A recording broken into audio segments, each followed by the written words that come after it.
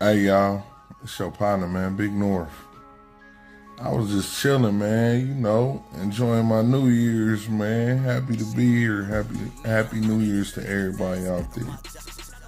But I'm checking out my little ring, man.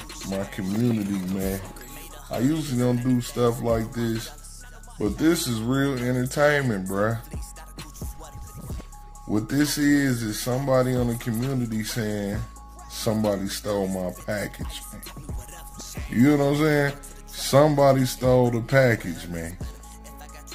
But he's saying the mailman stole it. Now look, we gonna look at this one more time. Watch this. Hold up, hold up.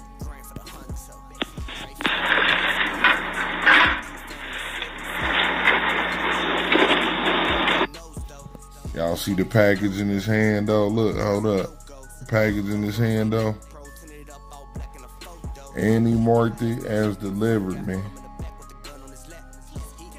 According to the victim, the mailman marked this as delivered.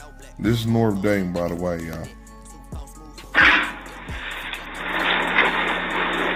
Just walked off with it. Can't make this up, man. And I ain't gonna hold y'all. One time I ordered some Ken Griffey's, right? The first Ken Griffey's.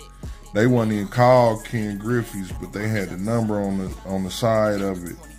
You know them little uh the all black with the green, mariner green with the 24 on the side. The first Ken Griffey's, boy, I paid like 400 from StockX. And I was wondering what happened to him. It didn't show up on my on my um on my ring doorbell or nothing. But StockX replate gave me my money back. But it was like no sight of my shoes. And with that being said, man, I kind of think the mailman might have got me, bro. That's the only way.